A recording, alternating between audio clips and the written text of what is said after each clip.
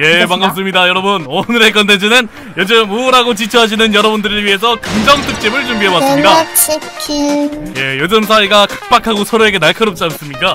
그런 의미로 지금부터 서로에게 쌍욕을 쳐박아서 서로 화내지 않고 긍정적으로 이겨내는 시간을 가져보도록 하겠습니다. 쌍욕 가는 거 아니라면서요. 아, 이게 긍정 특집인데 서로 막 때리고 그럴 순 없잖아요. 머리채 쥐어뜯고 이러고 있으는데 안 같아서는 매일매일 어 하지 말란 짓만 하는 끼끼니 그냥 머리채를 그냥 어 이 게임에서 여러분의 목소리를 인식을 해가지고 소리를 지르면 이게 기구가 위로 승천을 해요. 그래가지고 기구가 위로 올라가면 어떻게 되느냐? 이렇게 기구가 승천을 하면은 그분은 왁싱을 하셔야 됩니다. 예?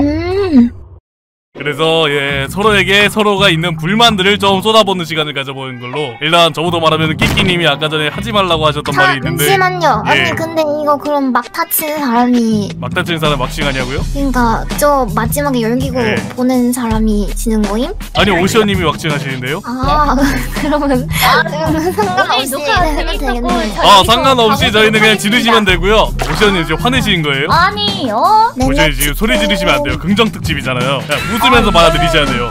저희가 오시언님 왁싱 특집입니다. 그러면은 아니 내가 왁싱을 하는 게 아니라가 아니라 아 그랬구나. 내가 왁싱을 해야 되는구나. 로 이제 좀 더 긍정적인 마인드로. 아 그랬구나. 여러분들 저 류음이랑 커플 왁싱 가요. 끼끼리인과 오시언님의 예, 그렇구나를 시작하도록 하겠습니다. 서로에게 평소에 불만이 있었다던가 하는 것을 이 시간에 예, 겸사겸사 풀어내시면 되겠습니다. 야자 타임처럼. 오 시안님 털 없으시잖아요. 아니 이런 걸 어떻게 해요? 불만이 없는데 아니 오시안이 털 없는 게 왜 제가 불만이에요 저분한테 아니 털 없으시지 아니 아무도 님한테 그 털 어쩌고 하는 거를 질문하라 하지 않았어요. 본인이 하시고 왜 저희한테 아, 화내세요? 알겠습니다. 오시안님 오늘 깍지 파서 책상 밑에 붙여놓고 내가 이런 말을 잘안 할라 했는데 진짜 초딩 같다 진짜. 나이상으로 끼끼가 나보다 누나인데 한참 누나인데 근데 누나라고 안 하시잖아요. 시연님은 아무튼 아까 말씀하시는 걸 보니까 음. 혼자 왁싱샵 못 간다는 핑계를 대시면서 류미님이랑 같이 손잡고 가고 싶다는 류미님한테 관심이 있었구나.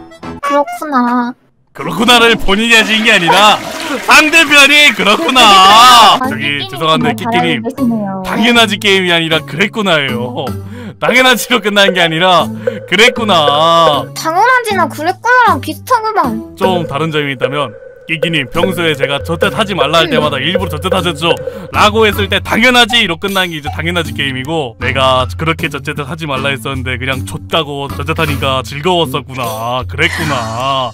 이게 그랬구나 게임이야. 아니 애초에 평소에 부정적이니까 머릿속에 부정적인 게 가득해가지고 이런 거 할 때 그렇게 잘 나오는 거 아니에요? 내가 류음이한테 관심이 있다고 했는데 끼끼는 그러면은 류음이한테 관심이 없어서 류음이의 말에 그렇게 안 들어줬던 거였구나. 이제야 알았다 그랬구나 그래서 매일같이 저뜻 하지 말라고 점프킹 하지 말라고 말씀을 드렸는데 그래서 계속 저뜻만 하고 계셨구나 그랬구나 이제야 오늘 알았다 진행자가 끼어들어요. 아 빨리 끼끼님 하세요 아, 그랬구나 하고 그렇구나. 근데 관심이 없는 게.